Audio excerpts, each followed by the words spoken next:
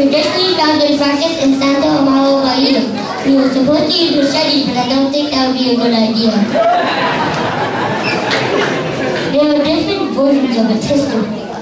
Some say it was practiced by Africans working in the sugarcane plantation to vent their anger and frustration from being slaves. Others say that the slaves used sticks and machetes to defend themselves against the slave masters. All I know is that it's really fun to do and awesome to watch. And since the adults showed you some of it, now us kids are going to do it even better. Yeah!